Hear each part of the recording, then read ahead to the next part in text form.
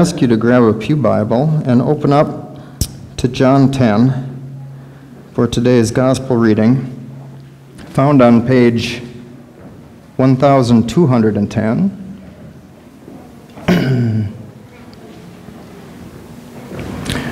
One thousand two hundred and ten. John 10, the first 10 verses.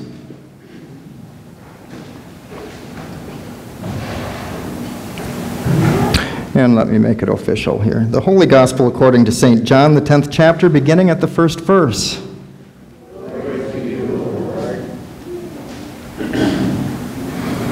I tell you the truth.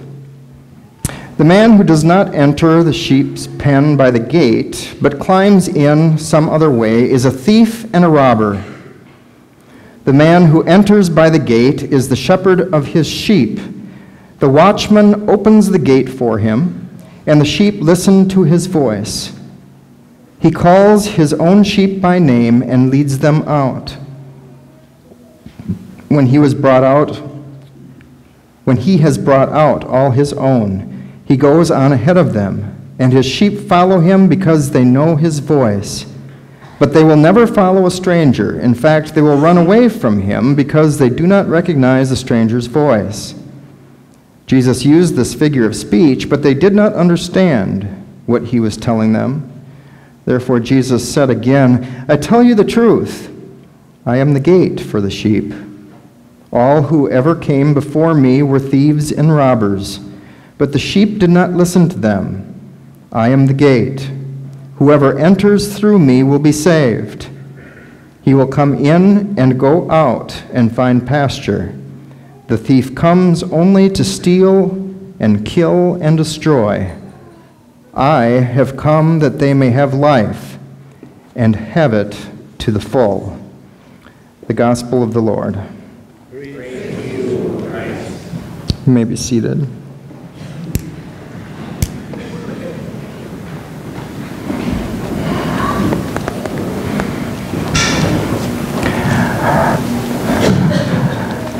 It's somewhat ironic that this is called Good Shepherd Sunday. And we use Psalm 23 as part of the text for the Good Shepherd, but in the text that we just read, uh, Jesus isn't really referred to as the Good Shepherd, is he? He's called the gate. And if we were to go one more verse, verse 11 reads, I am the Good Shepherd. The good shepherd lays down his life for the sheep. So we have the good shepherd who is also the gate, the gate who allows people to go in and out. Isn't that interesting? People are allowed to go in and out of the gate. They're not always inside the protective fence with the shepherd. Two weeks ago, I began vacation. And I left on a Monday morning to go to Amish country, came back on Tuesday afternoon, and it rained the entire time. It may have stopped during the middle of the night, I don't know. But it didn't stop while I was driving. It didn't stop while I was going from the car to restaurants, back to the car, back to shops. And so I didn't have a whole lot of time walking the sidewalks to check out the stores over in uh, Berlin and Walnut Creek, Mount Hope. Uh, beautiful area over there. As a matter of fact, it reminds me a lot of Wisconsin, of the area that I come from, that is uh, that includes rolling hills, uh, as we saw over there. But Someone asked me what my favorite part of that trip was. And I didn't realize that it was going to become part of a sermon so quickly. But everybody's heard of the Der Dutchman, right? The Amish restaurant over there, which was just down the block from the hotel that I was staying at. And I decided that I had to go there and eat it was, it was a requirement, really, to have to go there. And so uh, I go down there and uh, after visiting a couple of towns on Monday evening, and as I come out, uh, it's still raining, but out in front of the, of the restaurant is an overhang with some chairs. And so I stood out there for a little bit, and soon I noticed this uh, Amish woman coming in the direction of the restaurant. She was probably in her early 60s. Um, and I didn't know whether or not she would engage me in conversation, but I thought, you know what, I'm going to take a chance because I'm really not in a desire for conversation, but all I want to know is what time most of the Amish stores close. so I stopped her as she came across and I asked her what time most Amish stores closed, and it was around 5 o'clock. Uh, yes, you're right, Kurt. and that simple question quickly turned into a 45 minute conversation about life, faith, and exclusion. A powerful conversation that helped me to discern my understanding of faith, to help me discern ministry, to help me discern my treatment of others. She sat there and talked about the fact that she had grown up Mennonite in Pennsylvania. She had been married to a Mennonite man and lived there for a long period of time. Had a good life with him, and he passed away about 14 years ago. And then after his death, she met an Amish man. Um, and eventually married him and moved to Walnut Creek 12 years earlier from now, 12 years ago. And she talked about how she is now an outsider wherever she goes. She has been shunned by the Mennonites for having changed traditions. She is shunned by the Amish for being a former Mennonite. And in the middle of this community where she lives, she is completely alone.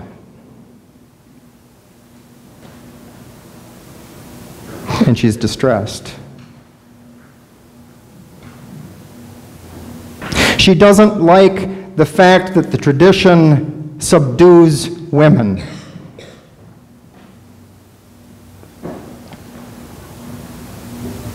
She doesn't like the fact that her tradition keeps out others. She doesn't like the fact that when she's challenging people about biblical scripture on love and mercy and grace, that people don't have an answer to it and therefore default to tradition.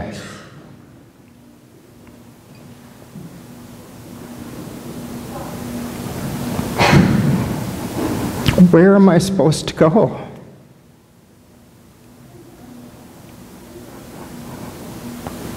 Where can I be accepted?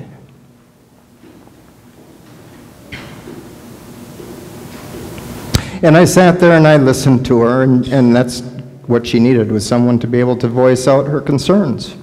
She wanted to go back to Pennsylvania, but her husband wasn't going to make the move. Do I leave and go anyway? because I'm not accepted here. She had taken some theology classes, and the teachers of those two or three classes had all told her, You have prophetic gifts.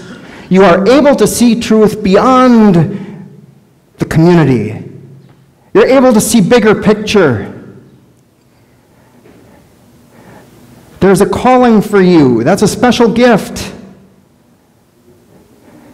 And she has no place to use it. She's not heard. And she looked at me and she said, You said you were a pastor. I've spoken in tongues That's not accepted in our tradition. What church are you in? Does, that, does your church accept that? I'm Lutheran.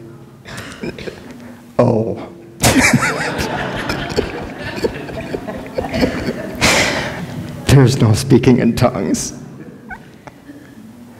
But Pentecostal is a tradition that speaks in tongues. Some Baptist speak in tongues. There may be some opportunities. I just want to go where I'm accepted. And then she gave me a history lesson that I may have learned in seminary and I don't remember. Lutheranism and her traditions are hand in hand. They actually made the split at the same time from Catholicism, and the difference that split us from them was infant baptism.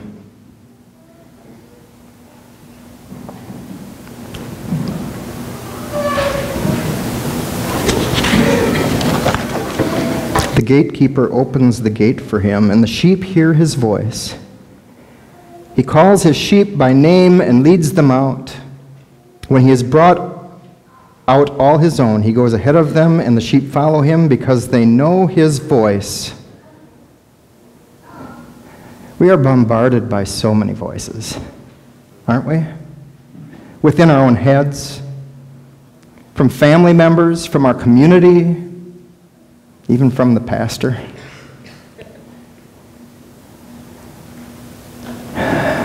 They will know my voice. They know not they will, they know my voice. How many voices are getting in our way? How many voices are keeping us from hearing Jesus' voice, Jesus calling to us?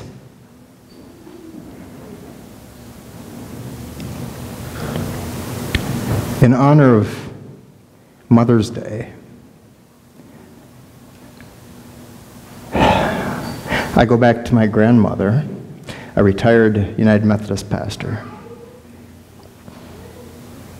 And I remember a conversation that I had with her before she passed away, in which she said, You know, Randy, um, in ministry, so many people come to the pastor for advice, for suggestions.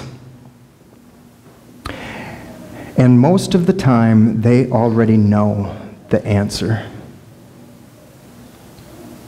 Most of the time, they already know the answer, and they're looking for an option that isn't going to be as painful and as challenging as the truth. And so, in my conversations, it's not about my advice. It's about helping them to understand the truth that is already within them. That voice of Christ.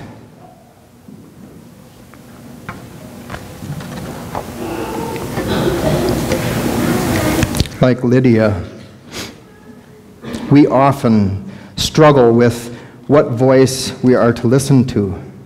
And listening to Jesus' voice doesn't guarantee that things are going to be any easier. They don't promise that the journey is going to be convenient. They don't promise that we're going to be wealthy, that we're going to be smart, that we're going to be old enough, that we're going to be young enough that we're going to be thin enough, that we're going to be enough. But what that voice says is, I love you. Put your name in there.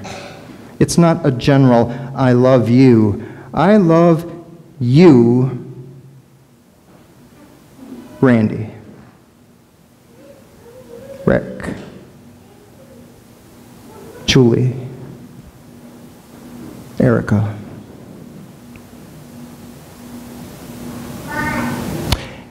And through my blood and through my body, you are forgiven.